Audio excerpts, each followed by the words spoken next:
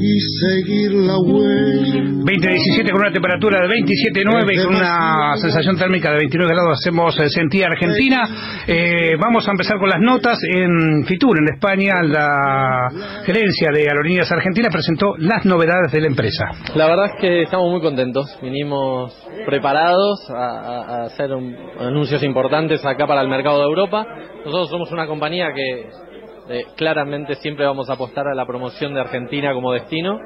Eh, y tenemos buenas noticias. Estamos eh, operando por después de mucho tiempo tres frecuencias diarias entre Europa y, Argentina con Vamos a pasar a, a partir del mes de julio, es histórico, a partir del mes de julio vamos a pasar a tener dos vuelos diarios a Madrid, que eso refuerza el vuelo diario que tenemos entre Roma y, y Buenos Aires. Así que para nosotros es un hito súper importante. Eh, esto viene acompañado también de varias novedades de producto en términos de lo que es la comercialización hacia el mercado de agencias de viajes y operadores mayoristas donde nosotros estamos disponibilizando una cuponera que se llama Visita Argentina, que tiene muchísimos años y es un producto muy posicionado en el mercado, pero le estamos eh, otorgando muchas mejoras. Una que es clave en este nuevo escenario es la disponibilidad que estamos destinando para este producto, donde todos los vuelos domésticos de la Argentina pasan a tener disponibilidad absoluta para, para el producto de visita argentina, ampliando la cantidad de cupones que, que un turista extranjero puede comprar en esa cuponera. Eh, lo estamos llevando a 16 tramos, imagínate un extranjero haga 16 tramos internos dentro de Argentina, así que es prácticamente no ponerle límite.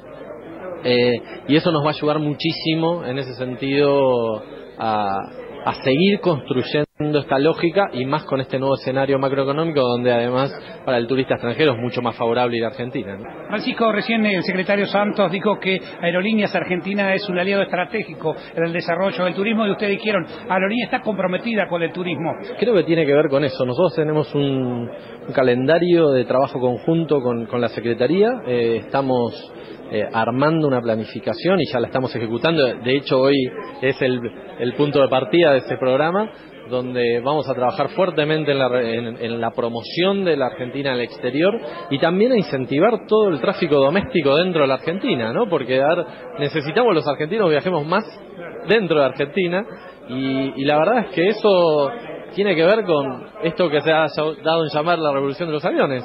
Creo que es favorable para todos, creo que ayuda a las economías regionales, creo que tenemos eh, un aporte totalmente protagónico en ese en esa revolución de los aviones.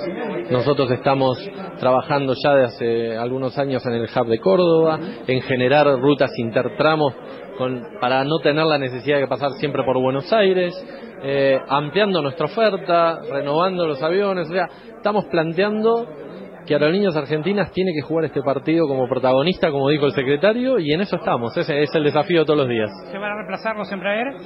Se está trabajando en eso. Yo la verdad que no soy del área que, que se ocupa de, del tema, eh, pero es parte del análisis que se está haciendo para el reemplazo de esa, de esa flota.